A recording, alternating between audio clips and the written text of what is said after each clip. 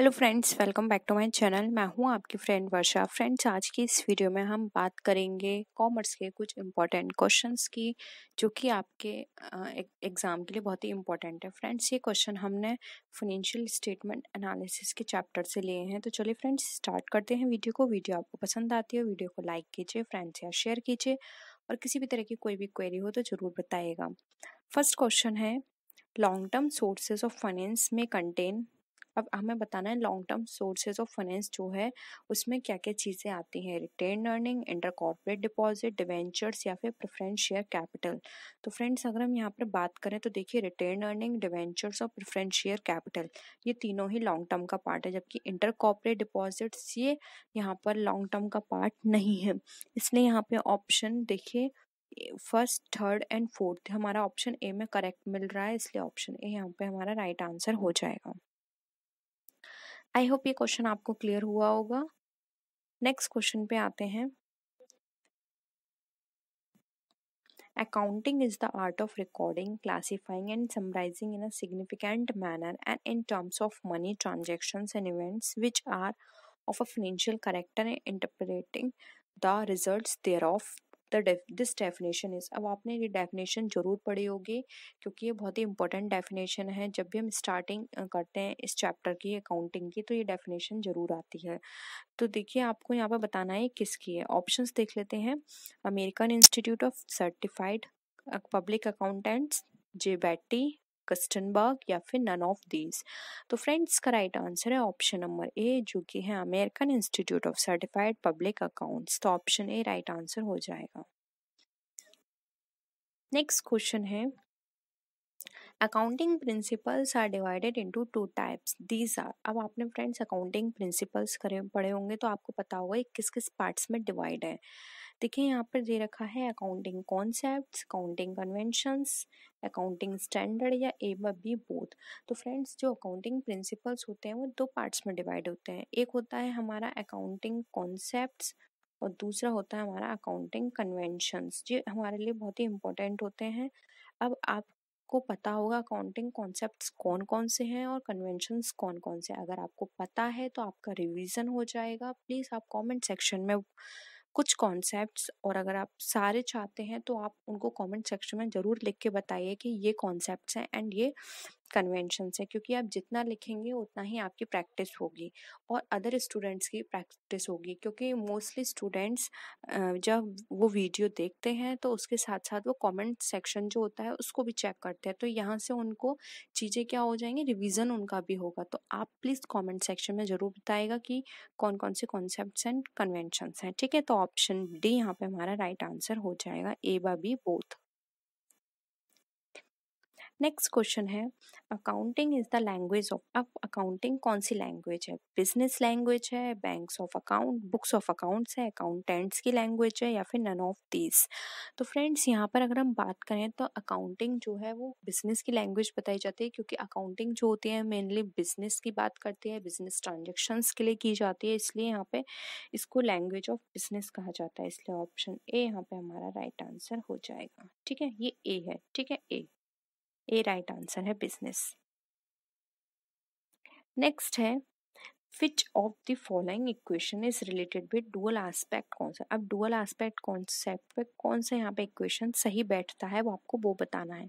Options देखिए total assets equal to total liabilities total assets equal to capital plus outside liabilities capital equal to total assets minus outside liabilities या फिर all of these तो देखिए friends यहाँ पे इसका जो राइट right आंसर है, वो यहाँ पे सारे ही ऑप्शंस करेक्ट हैं। Total assets equal to total liabilities भी हमारे डुअल एस्पेक्ट को बताती है। टोटल असेट्स में अगर हम कैपिटल और आउट आउटसाइडर लाइबिलिटीज़ को प्लस कर देते हैं, तब भी यहाँ पे डुअल एस्पेक्ट है। और अगर हम कैपिटल को कंपेयर करें टोटल असेट्स में आउटसाइड लाइबिलिटीज माइनस करके तो वो भी हमारे डुअल एस्पेक्ट बताती है। इसलिए यहाँ पे ऑप्शन डी राइट आंसर हो जाएगा। ये सारे ही ऑप्शंस हमारे लिए करेक्ट हैं। नेक्स्ट क्वेश्चन है which expenses is a capital nature अब इसमें से कौन से एक्सपेंसेस जो हैं वो कैपिटल नेचर के आपको वो बताने हैं। तो आप ऐसे भी पता कर सकते हैं कैपिटल नेचर के, क्योंकि इनका यहाँ पे ट्रीटमेंट आपको दो जगह करना होगा, ठीक है? डेप्रिसिएशन वेजेस सैलरी या स्टेशनरी तो बताइए फ्रेंड्स यहाँ पे इसका राइट आंसर क्या होगा? तो देखिए डेप्रिसिएशन यहाँ पे राइट आंसर है, जो कि है हमारा ऑप्शन ए ये हमारा राइट आंसर है, ठीक है? इसका ट्रीटमेंट आप कहाँ करते हैं? डेप्रिसिएशन का ट्रीटमेंट आप करेंगे पी एंडल अकाउंट में और एक ट्रीटमेंट करेंगे आप बैलेंस शीट में, जो जो भी इसका रेस्पेक्टिव जो हम कह सकते हैं आइटम होगा, उसमें से जो भी डैप निकल कर आएगी, वो उसको माइनस करके वहाँ पर आप शो करेंगे, टोटल उसका अमाउंट, ठीक है? क्वेश्चन है depreciation is a charge against profit, assets, company या बुक्स ऑफ़ अकाउंट। तो फ्रेंड्स का आंसर मैं नहीं दूँगी आप बताएँगे, बहुत ही सिंपल है, इसका आंसर आपको बताना है डेप्रिशिएशन किसके अगेंस्ट में चार्ज किया जाता है, ठीक है? कमेंट सेक्शन में आंसर ज़रूर बताइएगा, जिससे ये और लोगों को भी हेल्प मिले। नेक्स्ट है dividend can be declared from अब डिविडेंड जो होता है, वो कहाँ से डिक्लेयर किया जा सकता है? Revenue profit capital profit secret reserve या फिर ऑल ऑफ़ दी तो फ्रेंड्स यहाँ पर अगर हम डिविडेंड की बात करें तो डिविडेंड जो होता है वो हमारा रेवेन्यू प्रॉफिट से चार्ज किया जाता है और वहीं से डिक्लेयर किया जाता है कि इतना दिया जाएगा। तो ऑप्शन ए यहाँ पे हमारा राइट right आंसर हो जाएगा। नेक्स्ट है balance is a statement of अब बैलेंस किसका स्टेटमेंट बताता है? एसेट्स लाइबिलिटीज कैपिटल या ऑल ऑफ़ दीज तो बैलेंस जो होता है, वो हमें एसेट्स लाइबिलिटीज कैपिटल सभी का बताता है, इसलिए ऑल ऑफ़ दिस यहाँ पे राइट आंसर हो जाएगा।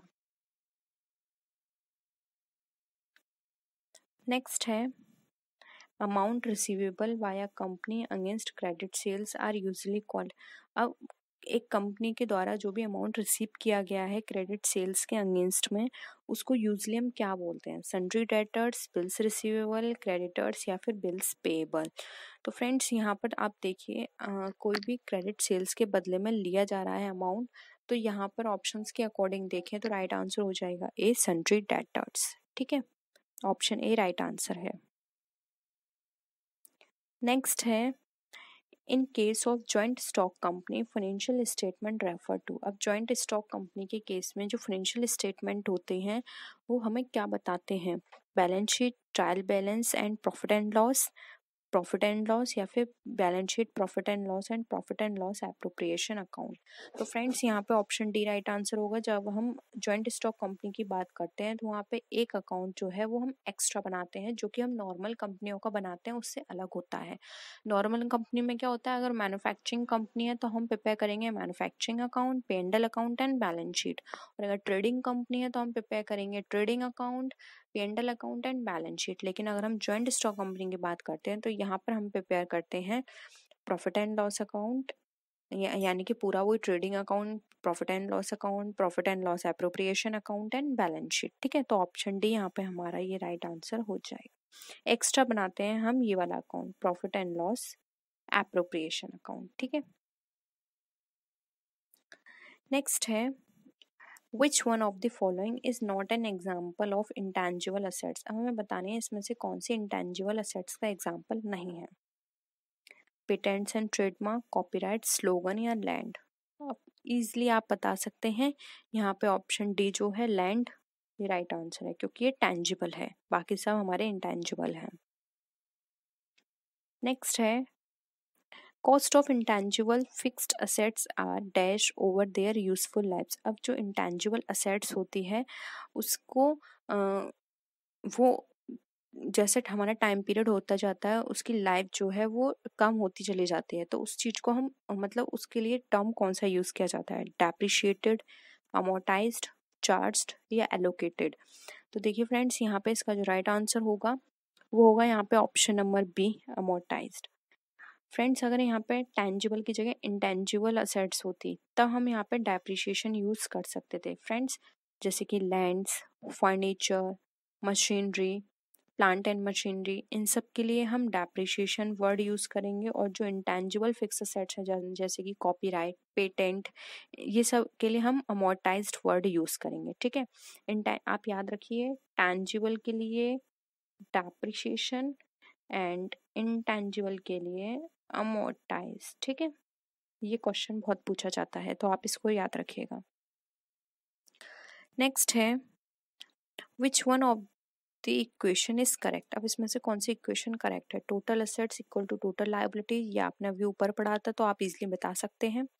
Total assets equal to total long term liabilities total assets equal to fix assets या फिर total assets equal to total liabilities plus owners equity तो फ्रेंड्स यहाँ पर आपको ईजिली बता सकते हैं, इसका राइट आंसर होगा यहाँ पे ऑप्शन नंबर अगर हम करेक्ट इक्वेशन की बात करें तो वो है total assets equal to total liabilities plus owners equity ठीक है?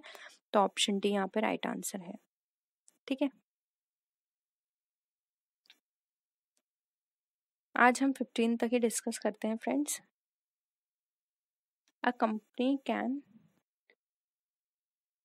a company can purchase its own अब एक कंपनी जो है वो परचेज करती है अपने खुद की क्या? Equity shares preference share debentures या ऑल ऑफ़ दीज तो फ्रेंड्स यहाँ पे इसका राइट आंसर है ऑप्शन नंबर सी डिवेंचर्स ठीक है? तो ऑप्शन सी यहाँ पे राइट आंसर हो जाएगा। तो ये थे हमारे आज के क्वेश्चन आई होप आपको वीडियो पसंद आया होगा, आपको कुछ सीखने को मिला होगा। अगर वीडियो पसंद आए तो वीडियो को लाइक करना, अपने फ्रेंड्स या प्लीज़ ज़रूर शेयर कीजिएगा। और किसी भी तरह की कोई भी क्वेरी हो तो ज़रूर बताइएगा। और मैं जल्द से जल्द कोशिश करूँगी कि आपको बी कॉम के भी पेपर्स आपको प्रोवाइड कर दिए जाएँ। अगर कोई बी कॉम स्टूडेंट इस वीडियो को देख रहा है तो और आप मुझे मेरी सोशल मीडिया पे फॉलो कर सकते हैं और अपनी क्वेरी को वहाँ पे पूछ सकते हैं। नेक्स्ट वीडियो में फिर मिलते हैं और भी अच्छी वीडियोज़ के साथ। तब तक के लिए टेक केयर बाय बाय